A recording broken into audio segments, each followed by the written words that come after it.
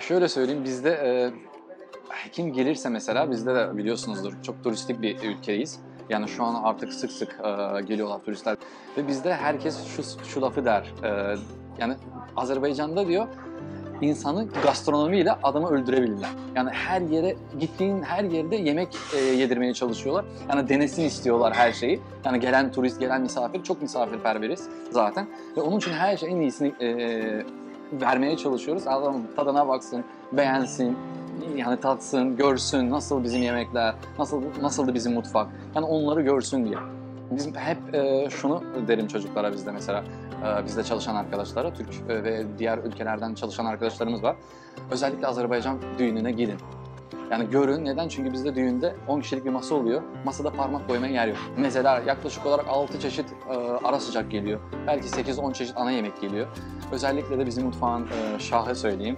Yani şahı pilavdır. Yani pilav en son gelir e, ve masayı, e, bu sofrayı yani kapatır. Belki 200'den fazla çeşit pilavımız var. Öyle söyleyeyim. Ama en bilinen şah pilavı. Kestane var, soğan var, kuzu eti var, e, erik, kuru kayısı, kuru üzüm.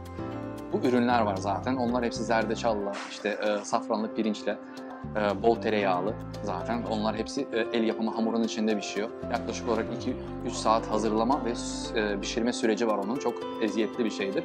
Ama sonucu ona değer. Klasik mutfağı e, sunuyoruz. Azerbaycan e, geleneksel mutfağını sunuyoruz. Yani e, dedelerimizin, nenelerimizin yaptığı reçetelerle yapıyoruz. E, farklı yörelerden farklı yemeklerimiz var. Özellikle bazı ürünleri Azerbaycan'dan getirmek zorunda kalıyoruz. Çünkü aynı lezzeti yakalamak için.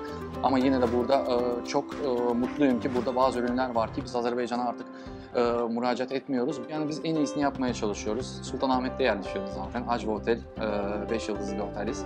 Onun tepesinde bir Zeferan restoranı. Zaten açıldığı zaman veya açtığımız zaman biz otelin üstünde bir restoran amacıyla açmadık. Herkese açık bir restoran. Biliyorsunuz otel ve restoran normalde otel misafiri için çalışır. Dışarı insana kültürümüzü anlatır, anlatır şekilde e, onu tasarladık. O şekilde açtık o restoranı ki herkes gelsin, herkes tadına bakmaya şansı olsun. Özel şerbetlerimiz var. Bazılarını Azerbaycan'dan getiriyoruz. Özel e, meyveden yapılan şerbetlerimiz var. Mesela peyhua tarzı bir şerbet. Yani istiyorum insanı, buranın da insana kültürler çok yakın. Ve çok güzel malzememiz var. İnsanlar e, tanısın. Çünkü burada da bazı şeyler var ki burada yetişebiliyor.